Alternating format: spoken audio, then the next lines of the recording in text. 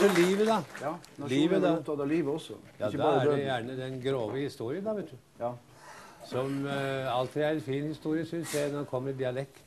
Ja. Og det er jo gjerne de elementære tingene da, med, med dette eh, elementære livet.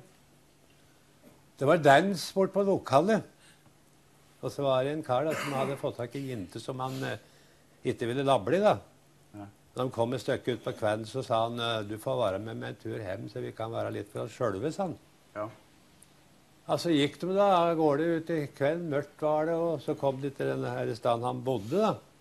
Og der var ei svart trapp oppi gangen der, og han måtte ta fram ei løkt. Han tok fram en av disse svære stavløktene.